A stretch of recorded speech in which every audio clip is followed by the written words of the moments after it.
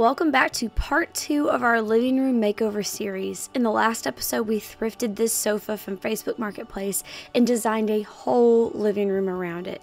In this episode, we're tackling small projects like caulking, touch up paint, refinishing our coffee table, and rearranging the room to bring it closer to the vision that we designed. And so far, we've made a lot of progress from this to this. In the next episode, we're going to be tackling the large windows, and I cannot wait to show you what I have planned. So make sure to subscribe, follow along so that way you don't miss the next part of this makeover series.